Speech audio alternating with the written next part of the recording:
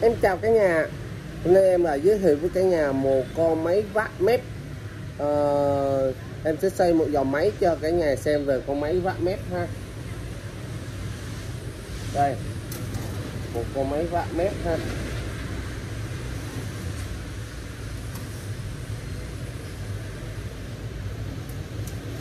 Con này sử dụng động cơ motor từ nha cả nhà.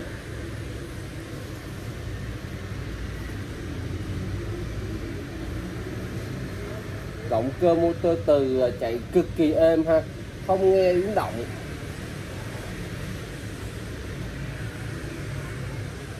Rồi, em sẽ à, đọc thông số của con máy à, vát mép này cho cả nhà. Thì tổng trọng lượng của một con máy vát mép này á, nó nặng là gần 20 kg ha. Nó là 19 kg rưỡi á. 19 kg rưỡi nha cả nhà.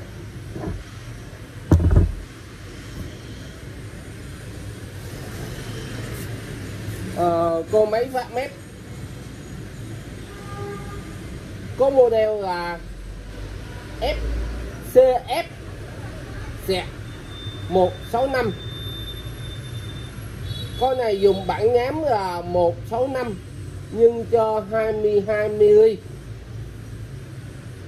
dùng nguồn điện là một pha AC 100V công suất là 200W có vòng tua là 3.000 trên 3.600 vòng một phút. Thì để em đọc cái thông số trên động cơ motor. Thì động cơ motor này nó sử dụng động cơ motor của Toshiba.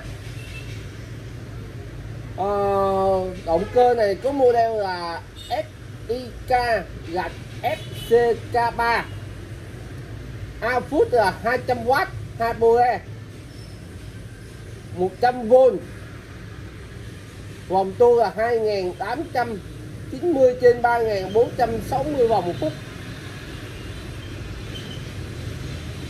Dạ rồi ạ.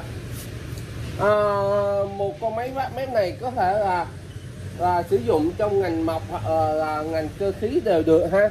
Vì nó là là vát bằng là bản nhám thì bây giờ trước khi cái nhà sử dụng á, thì cái nhà sẽ mở cái à, cái chốt này ra ha.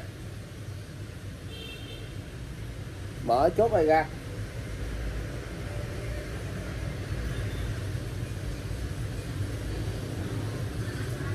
Rồi, cái nhà lấy hẳn ra ha, để ra bên. Rồi, đây là tăng đưa điều chỉnh để lên xuống.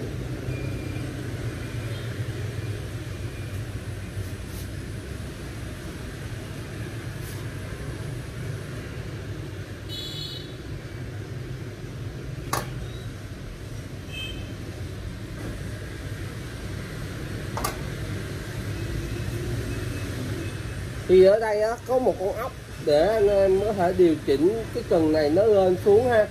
Điều chỉnh này cái cần này lên xuống. Đó. Và ở bên này cũng có một con ốc để điều chỉnh cái này nè. Đó nó sát mép với bạn nhám hoặc là xa bạn nhám nha. Ở cái nhà lưu ý để mà mình điều chỉnh cho đúng. Khi à, mình thao tác đó, cái nhà muốn nó lên bao nhiêu gem? Đó. Hoặc là ăn dày, ăn sâu bao nhiêu? Thì cái nhà điều chỉnh ha. Rồi bây giờ em sẽ mở điện cho cái nhà. Thì cái nhà biết là cái động cơ motor từ á, nó khác ở động cơ motor không thường. Rất nhiều.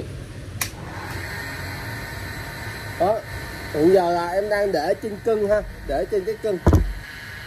Nhưng mà cả nhà coi cái độ gung kim nè gần như bằng không. Độ gung của kim mà gần như bằng không ha. Là cả nhà sẽ thấy cái độ nó cái mức độ chạy á êm như hơn thế nào. Thì hiện giờ em đã chuẩn bị một thanh gỗ như thế này ha. Thì cả nhà có thể vát mép uh, gỗ cũng được hay là bất cứ một cái gì mà cả nhà cần thiết ha.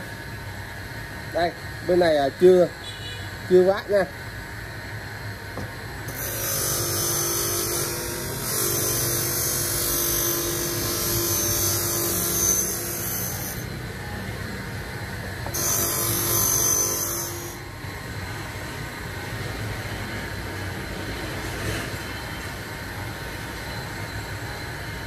Đó, dùng để bo cạnh ờ, thanh gỗ của mình trước khi mình làm gì ha đó. Ờ, còn muốn ăn sâu hơn nữa thì cả nhà đưa lên đưa cái cái này lên thì mình sẽ ăn sâu thêm miếng nữa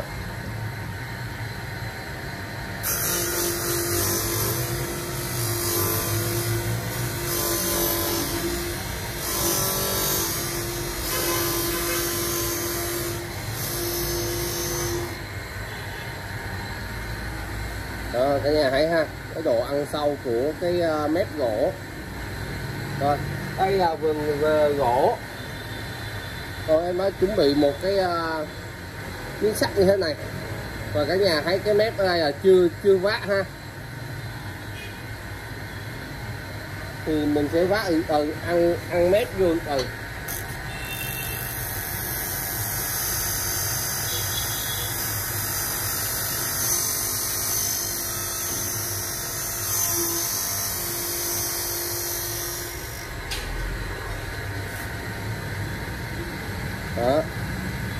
hiện giờ đây là bạn nhám zin theo máy thì em vẫn để nguyên để cho cả nhà khi mà mua cái bạn nhám khác.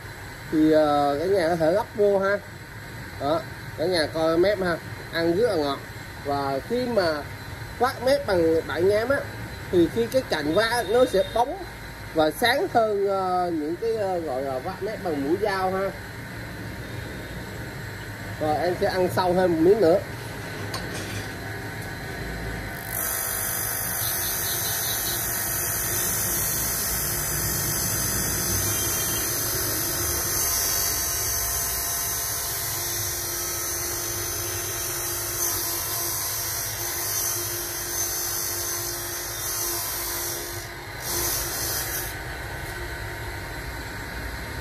Đó cả nhà coi ha. Cái cạnh vá mép nó cực kỳ trắng sáng ha. Rồi.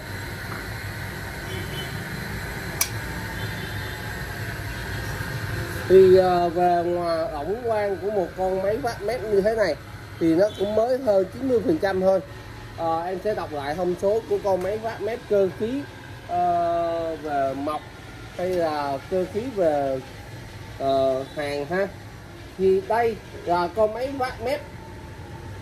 Có model là CF 165 thì nó cũng ương đồng với cái mã bạn ngám á, là 165 nhưng cho 22 mm con này là dùng điện AC 100V công suất là 200W có vòng tua là 3 ngày trên 3.600 vòng một phút tổng trọng lượng của một con này là gần 20 kg em bán một con máy vát mép như thế này, cho cả nhà là 3 triệu 800 nghìn đồng.